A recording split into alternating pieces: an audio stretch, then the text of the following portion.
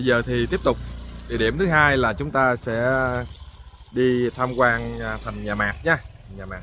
Đây là tấm bia di tích có ghi cái à, ghi cái cái cái điều kiện để để hình thành cái thành nhà mạc này của tập đoàn quân sự.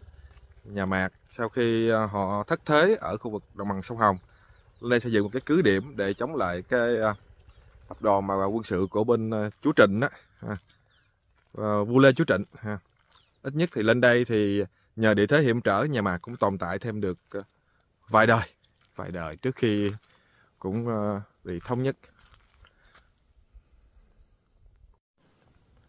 Ngay dưới chân núi thành nhà mạc, chúng ta thấy có một cái vườn đào rất là lớn nha, mà đào cổ thụ không?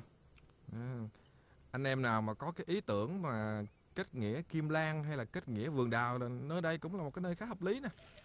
Phong cảnh hữu tình đó, núi cao sơn thủy này kia nọ hữu tình. Ở dưới là có một cái vườn đào tôi đợi tới mùa hoa đào nở rồi ba anh em vào đây rồi. Đó, khấn vái kết nghĩa huynh đệ này kia nọ lắp lắp lắp lắp cũng ý nghĩa nha. Nơi di tích đẹp đẽ. Chứ đỡ hơn đi kết nghĩa trong quán nhậu quán karaoke nó lại rất là tào lao. À, bây giờ à, chúng ta sẽ à, thay bậc thang để leo lên trên cái à, lô cốt tiền tiêu.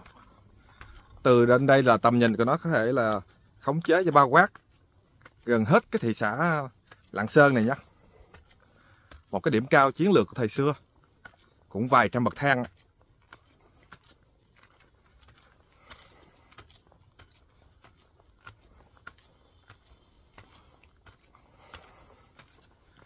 Sau lưng phong cảnh hữu tình, đúng không?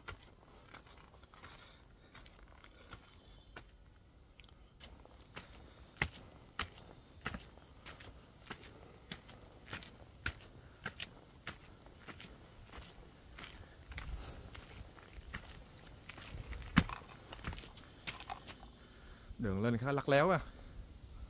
Đây đi vòng quanh vòng quanh lên tới đỉnh bên kia.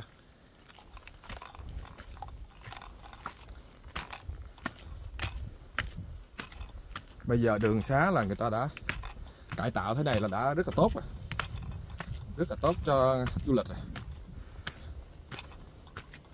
Chứ 30 năm trước thì nó khó khăn hơn nhiều.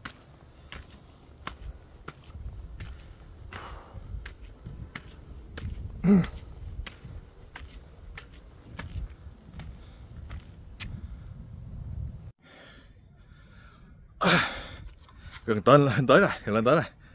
À, cũng đổ mồ hôi chứ bà. Có mấy trăm bậc mà cũng đổ mồ hôi. Xung quanh cái view rồi đứng lên cao nhìn thấy là đẹp nhá. Cái view sau lưng cực đã oh.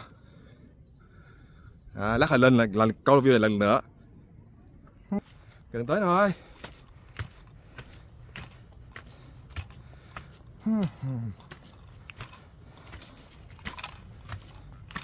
Oh.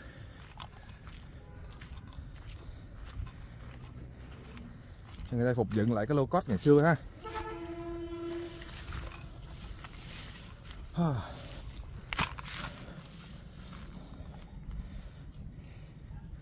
Phục dựng lại cái lô cốt. Đây, có cái gì không đây? Không có gì cả, chỉ là nơi phục dựng thôi. Hmm. Không biết là mấy cái ờ, viên gạch này, gạch cũ, gạch mới đây. Gạch không biết gạch từ đời nào gạch cũ gạch mới làm lại đi. Coi như đứng ở vị trí ngày xưa đi. Quá à, ai đây quăng rác quá. Trong cái thùng rác có đầy đủ. Các bạn nghe mình thở không? À, thở hì hục nhưng mà xứng đáng đúng không? Lên đến đỉnh cao nhất của thành nhà mạc. Nhìn thấy địa thế bao quát hoàn toàn xung quanh. Cánh đồng lúa rất là rộng đây là thung lũng á lạng sơn cũng là thung lũng mọi người ta thấy cái địa hình của nó nè. Xung quanh là các dãy núi trùng điệp luôn. Các dãy núi trùng điệp. Và chúng ta đang đứng ở một cái địa thế có thể là bao quát cả địa hình của lạng sơn. À, bên kia là dãy núi mà có động tam thanh này kia nọ nè. Tam thanh nhất thanh nhị thanh này kia nọ ha.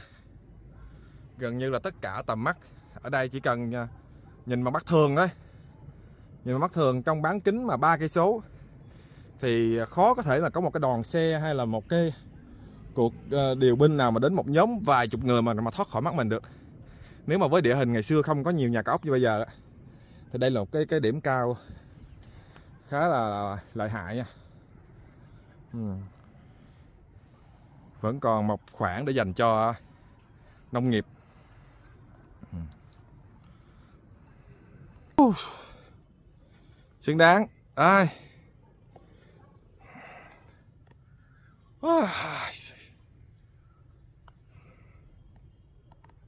Đã đi tới nơi thì phải đi cho đàng hoàng đúng không? Chứ sao mà để lất phớt lất phớt được? Lẽ là phải leo tới nơi tới chốn. Cảnh khá là đẹp nha. À. rồi thôi chắc là mình nghỉ mệt xíu. Nghỉ mệt kiếm chỗ xả nước sau đó từ từ đi xuống. À, ngắm cảnh hơi lại đi xuống. Lên núi mệt. Nè. Mà xuống núi thì cũng không phải dễ dàng gì. Nhưng mà thôi đang trên đường à, xuống núi mình sẽ tạm dừng cái à, clip về à, di tích thành nhà mạc ở đây để mình xuống thôi. Hẹn gặp các anh chị ở một cái địa điểm nào đó khác nữa. À, sẽ cố gắng kiếm thêm điểm nữa nha. Vậy là clip này dừng tới thôi. Bye